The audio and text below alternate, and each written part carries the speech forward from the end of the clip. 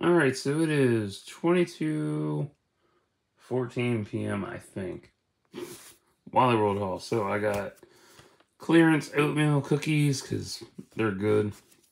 Got me a little thing of marshmallow cream to fuck with. I'm gonna fuck it later because it's really soft. And I'm gonna try this shit out, see how that goes, because I've never had this before.